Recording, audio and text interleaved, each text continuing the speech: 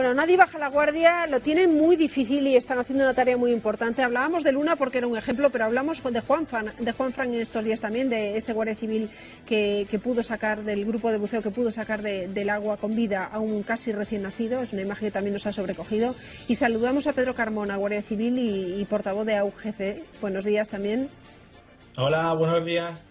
Bueno, este, esta es una tarea muy compleja, la de vigilar los guardias, los puestos fronterizos. A veces hemos visto que además muy peligrosa, pero no sé si por mucho que se acostumbre uno alguna vez puede adaptarse a vivir en situaciones tan duras, de ver esos dramas humanos ahí al alcance de la mano, ¿no?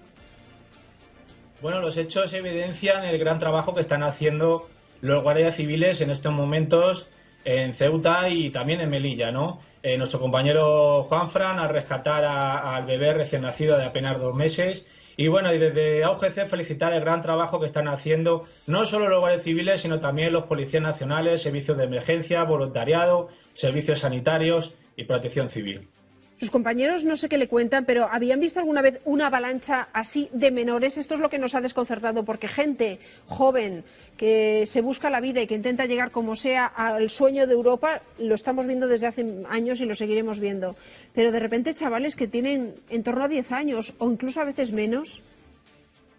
Sí, hay compañeros que llevan muchísimo tiempo destinados en esta zona y nos cuentan, nos hacen llegar que desde hace, vamos, en 20 años de carrera, muchos de ellos, eh, carrera profesional, no habían visto una situación como esta, el utilizar a menores para eh, entrar en una supuestamente crisis migratoria y atacar así de esta manera.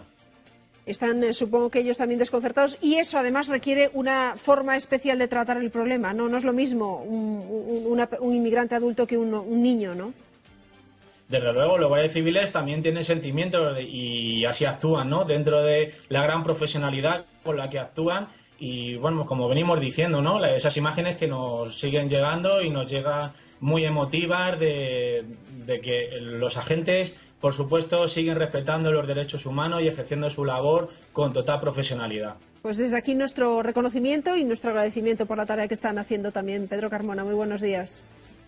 Muy buenos días, muchas gracias.